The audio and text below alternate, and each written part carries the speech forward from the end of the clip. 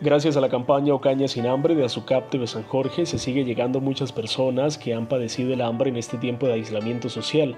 Los habitantes de calle, los más abandonados, recibieron un alimento por parte de Subway y TV San Jorge. Consistió en dar un pequeño refrigerio, que es uno de nuestros productos, un sándwich más un vasito de gaseosa para la gente vulnerable de nuestra comunidad. Supermercados sin límites, que es el que nos da los vegetales para las donaciones y don Enrique, que es el, jefe de nosotros.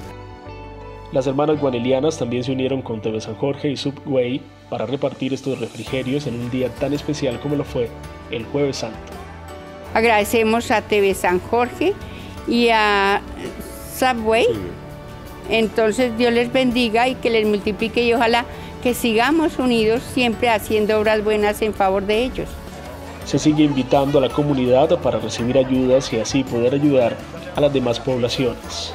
Y seguir invitando a los ocañeros y ocañeras que se unan, porque si todos nos unimos y aportamos algo, damos testimonio de que somos solidarios, de que estamos con otras actitudes y también con ese sentido de que nuestra ciudad es humanitaria, es solidaria y también quiere una vida mejor para todos. Con la ayuda de todos se podrá seguir llevando a muchas personas necesitadas una comida en este tiempo de crisis.